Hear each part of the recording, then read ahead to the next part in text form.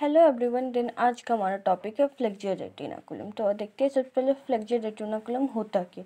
तो देखिए फ्लेक्जियर रेटिनाकुलम हमारे मॉडिफिकेशन होता है डीप फेशिया जो जस्ट फोर आर्म और पाम में इंटर करने से पहले में मिलता है। ये हमें front of the forearm में मिलता है, क्योंकि front of the forearm में ही हमारा फ्लेक्जियर कंपार्टमेंट होता है तो इसलिए इधर ही हमें फ्लेक्जियर रेटिनाकुलम मिलता है। और ये डीप का मॉडिफिकेशन होता है। अब इसके अटैचमेंट पे आते हैं।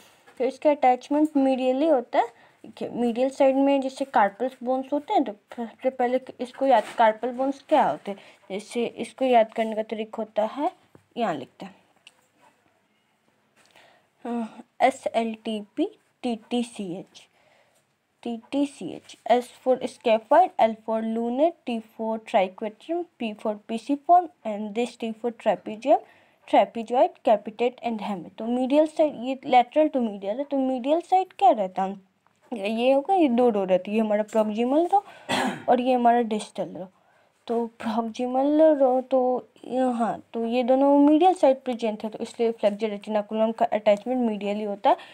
Pisiform pisiform bone and hook of जैसे ये हमारा हो गया पीसी फॉर्म बोन ये हमारा हो गया हुक ऑफ़ और लेटरल साइड ये यह ना, ये स्प्लिट कर जाता है सुपरफिशियल और डीप लेयर में जिसमें फिर सुपरफिशियल लेयर अटैच होता है tubercle of scaphoid and deep to trapezium से अटैच रहता है। आइए अब हम इसके डायग्राम पे आते हैं। तो इसके डायग्राम देखिए क्या है मोडिफिकेशन ऑफ़ डीप फेशिया तो इसको हम ग्रीन से ड्रॉ करते हैं। आइए।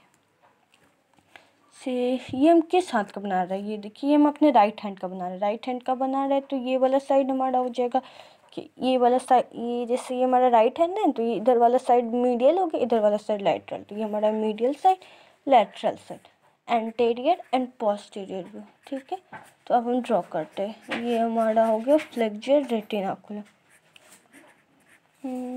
ये रहा हमारा, ये हमारा फेशिया तक। ये अब हम कार्पल्स बोन्स ड्रॉ कर लेते हैं।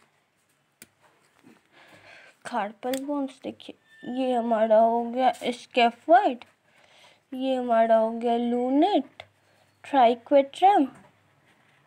And this is हमारा पिसिफॉर्म देन दिस इज़ हमारा ट्रेपिजम ट्रेपिजॉइड। कैपिटेट एंड हो गया हैमट तो इनके नेमिंग भी कर लेते हैं। हम्म, ये हमारा कौन सा हो गया? दिस इज़ हमारा scaphoid this is lunet triquetrum hamet sorry sorry pisiform trapezium trapezoid capitate and ये हमारा हेमेट देखिए मीडियल साइड अटैचमेंट है ना पीसी फॉर्म और हेमेट से और लेटरल से दो से स्केफर्ड एंड थ्रेपीजियम से। अब हमें पता होगा कि पाम के साइड में दो ग्रुप्स होते हैं। पाम के साइड में ये दो पार्ट्स में डिवाइड करते हैं। एक रहता है मीडियल सुपरफिशियल स्लिप ये हमारा हो गया मीडियल सुपरफिशियल स्लिप और लेटरल डीप स्लिप ये हमारा स्लिप हो गया। और अब देखते अब हमें ये भी पता होगा कि पाम में हमारा दो ग्रुप्स होते हैं थिनर और हाइपोथिनर ग्रुप्स तो ये वाला हमारा मीडियल साइड हाइपोथिनर ग्रुप रहता है तो ये हमारा हो गया हाइपोथिनर ग्रुप और ये वाला हमारा हो गया थिनर ग्रुप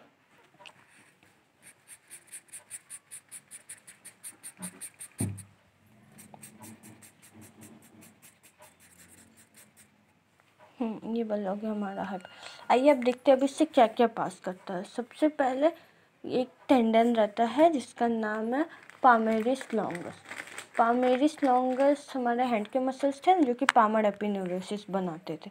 तो पामर एपिन तो ये इसके ऊपर से पास होना चाहिए तो ये वाला हमारा इसके मोस्ट मीडियली प्रेजेंट रहता है पामेरिस लॉन्गस का टेंडन ये हमारा पामेरिस लॉन्गस का टेंडन अब इधर आते हैं, अब हम ड्रॉ करते हैं।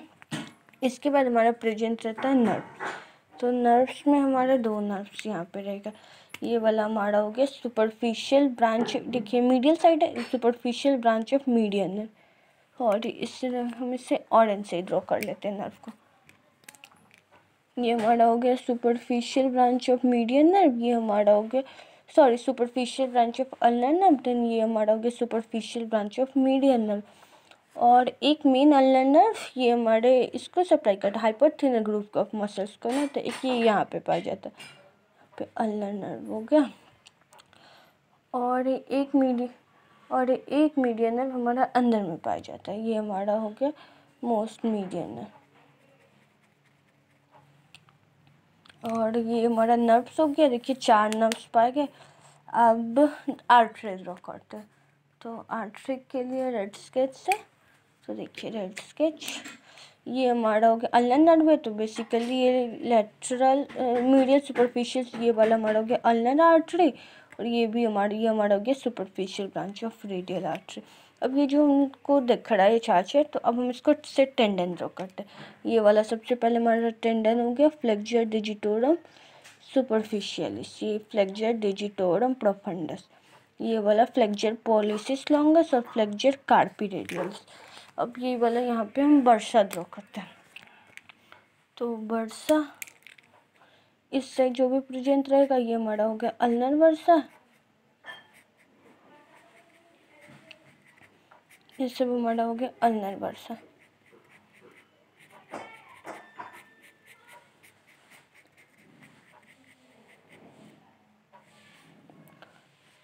और एक इधर जो रहता है, ये वाला हमारा जो कि फ्लेक्जर पॉलिसिस लॉन्गस के टेंडन को सराउंड किया, ये वाला हमारा हो गया। रेडियल वर्सा आइए अब हम इन सबकी नेमिंग कर लेते नेमिंग कर लेते हाँ। तो सबसे पहले ये वाला हमारा कौन सा टेंडन हो गया?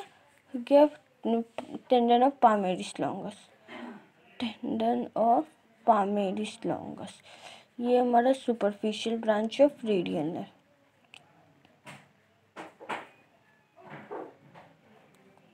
Sorry sorry superficial branch of median है।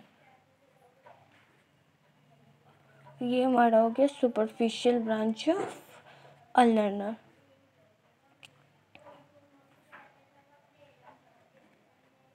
ये वाला हमारा हो गया ulnar nerve then this is हमारा अल्नर आर्टरी ये वाला हमारा हाइपोथिनरी मिनांस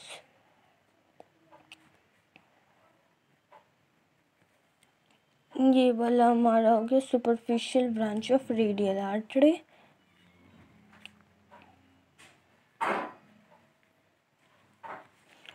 ये वाला हमारा हो गया थिनरी मिनांस और ये वाला हाँ ये वाला हमारा median nerve tendon of flexor carpi radialis tendon of flexor pollicis longus और रेडियल बर्सा ये लेटरल साइड प्रेजेंट है ना इसलिए ये रेडियल बर्सा ये ये सब हो गया flexor digitorum superficialis flexor digitorum profundus और इधर ये वाला रहा ये वाला हमारा कौन सा भी यहाँ दिखा देते हैं। अल्नर वर्सा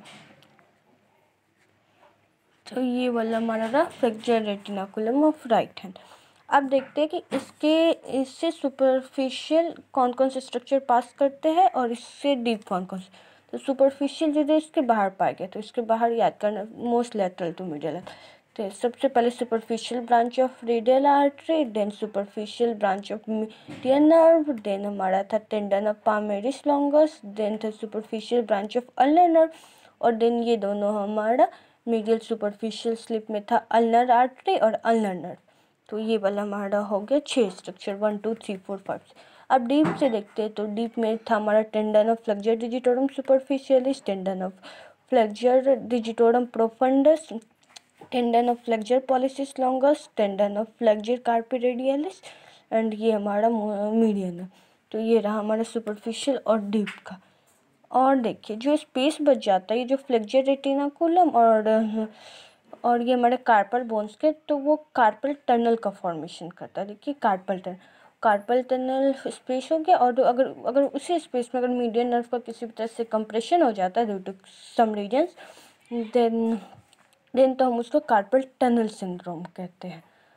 और तो ठीक है फ्लेक्जर रेटिनाकुलम में बस इतना ही। हम्म, पहले ये देख लेते हैं इसमें कितने टेंडेंस पास करें? One two three four five five tendons होते हैं। टू आर्टरी और नर्व्स हो गए चार नर्व्स तो बस इतना ही को हमें ड्रॉ करना। टू वर्षा हो गया। बस इसी को हमको ड्रॉ करना है। तो ठीक है फ्लेक्जर रेटिनाकुलम में बस इतना ही। मिलते हैं नेक्स्ट वीडियो में। Thank you